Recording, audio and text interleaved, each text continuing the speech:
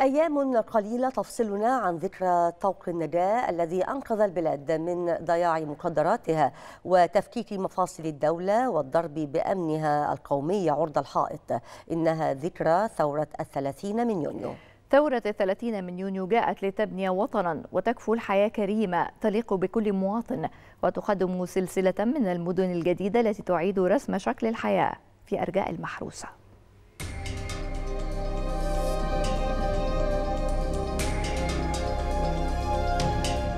وضعت القيادة السياسية تحدي التوسع العمراني نصب عينيها وكان توجهها واضحا نحو إنشاء مزيد من المدن الجديدة وزيادة الرقعة العمرانية لتخرج بعيدا عن الوادي الضيق والدلتا نحو الصحراء لخلق تجمعات جديدة وفتح أبواب التنمية.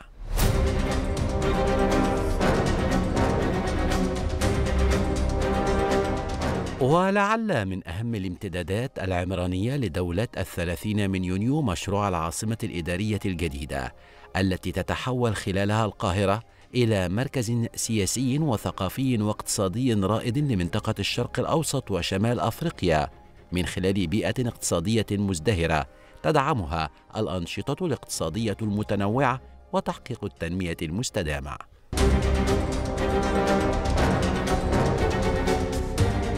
وقد تم تخصيص مساحة 270 ألف فدان لإنشاء العاصمة الإدارية شرق مدينة القاهرة وذلك لمواقعها المتميز وقربها من منطقة قناة السويس والطرق الإقليمية والمحاور الرئيسية.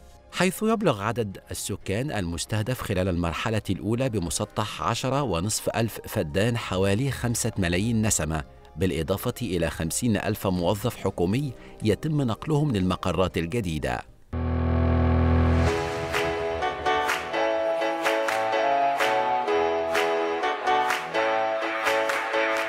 مدينة العالمين الجديدة لا تقل أهمية عن العاصمة الجديدة، فهي أول مدينة مليونية في الساحل الشمالي وإحدى مدن الجيل الرابع، وتتشابه المدينة مع العاصمة الإدارية الجديدة في ضخامة المشروعات العالمية المقامة عليها.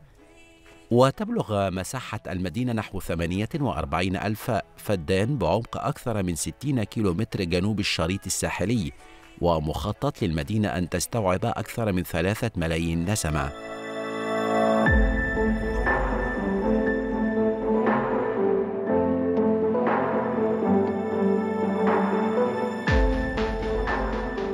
هناك أيضا مدينة توشكا الجديدة التي تقع على ثلاثة آلاف فدان لاستيعاب ثمانين ألف نسمة لتوفر ثلاثين ألف فرصة عمل. ومدينة الإسماعيلية الجديدة التي تعتبر من أهم مشروعات التنمية وتعمير سيناء. وتضم 57 ألف وحدة سكنية وتستوعب 314 ألف نسمة على خمس مراحل.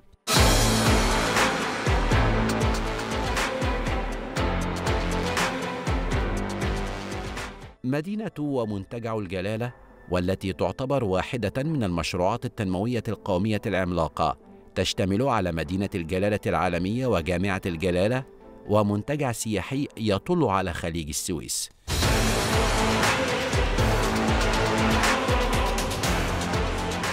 وتعد مدينة المنصورة الجديدة من أبرز مدن الجيل الرابع الجاري تنفيذها وتمثل نافذة الدلتا السياحية وتضم أنواع الإسكان المختلفة من إسكان سياحي وإسكان الفيلات وإسكان متوسط وإسكان اجتماعي وتشتمل على جميع الخدمات اللازمة بجانب جامعة إقليمية.